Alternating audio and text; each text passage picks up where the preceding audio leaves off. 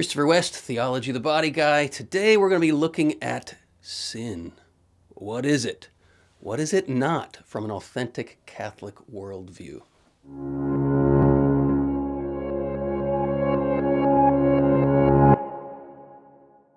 We often hear evangelists and preachers of the gospel saying things like, You're a sinner, you need a savior. Is that true? Uh, yes, it is true, but it is an awfully truncated version of the gospel. We don't even know what sin is unless we go back to the beginning, to the original, beautiful, wonderful plan of God for making us men and women in His image and likeness in the first place. Only then can we talk about sin. We have to understand what we have fallen from in order to know what it means to be a sinner and why we need a Savior. So let's take a look. We're going back to the beginning. And we want to look at why the man and his wife were both naked and felt no shame. This is the key, John Paul II says in his Theology of the Body, to understanding God's original plan for our humanity. And what do we discover? They were naked without shame because they saw in each other's bodies the revelation of the mystery of God's plan of love and they desired nothing else. Let me paint a picture for you here. Scripture uses symbolic language to get us to these primordial, original truths about our humanity. Let's just begin with the word Eden. If we were to translate the word Eden into English, it would be something like fertile pleasure park. God puts the man and the woman naked in this fertile pleasure park.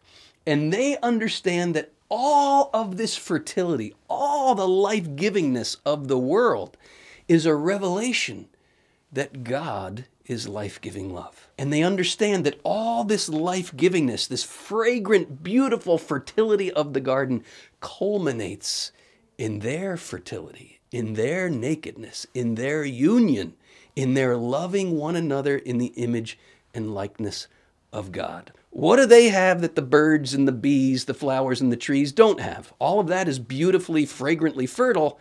But what do we have that the rest of creation doesn't have? Freedom. We've been given freedom as the capacity to love in the image and likeness of God. But the flip side of that capacity is the ability to say no. Why did God give us freedom? If God didn't want us to misuse our freedom, that's what sin is, which we'll get to in a minute, then why did He give us the ability to sin in the first place? The ability to misuse our freedom? Because if we don't have the ability to say no, our yes means nothing. We're just another one of the animals a squirrel, a giraffe, a juju bug. God gave us freedom because without it, love is impossible. The capacity to sin is the flip side of the capacity to love. Here we got to talk about three interrelated words to properly understand what's going on. They're all Archer's terms desire, sin, and Torah. Desire is the Archer's term that means to aim at. Where are we aiming our lives? That's our fundamental desire. Sin is the archer's term that means to pull back your arrow and miss the mark. Torah, also known as God's law, right, is the word that means to hit the mark. If we are missing the mark in our desires, is the solution to change the target or to adjust our aim? God gave us desire to lead us to the ultimate fulfillment of our yearning. And what is that yearning? Here I turn to the Catechism. In fact, you open the Catechism to Part 1, Chapter 1, and this is what you read. This is how the whole Catechism begins. The desire for God is written in the human heart. Only in God will the human being find the truth and happiness he never stops searching for. That's our desire. Where are we aiming it? If we aim our desire for God at something that is not God, we are missing the mark. God's law is not meant to oppress us. God's law is meant to help adjust our aim so that we desire what we truly desire. Listen to how the Catechism defines mortal sin. Now, this is the deadly kind, right? Mortal. Mortal sin turns man away from God. Missing the mark, right? We're missing the mark. Who is his ultimate end and supreme happiness. The Catechism uses the word beatitude, supreme bliss, supreme fulfillment by preferring an inferior good to God. Fascinating.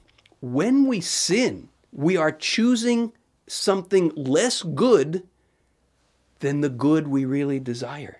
When we aim our desire for the ultimate good at an inferior good, if we retain our aim in that direction, that's where we're going to end up at something less than God. And if in the end we have something less than God, then it's not heaven, it's something else.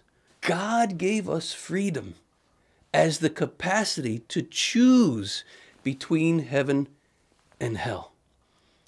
A lot of people will say, well, if God is love, there couldn't possibly be a hell. But it's exactly the opposite when we take a deeper look.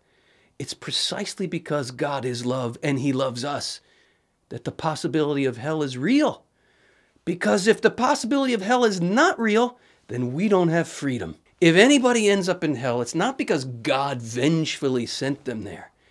It's because they used their freedom to aim their desire at something less than God.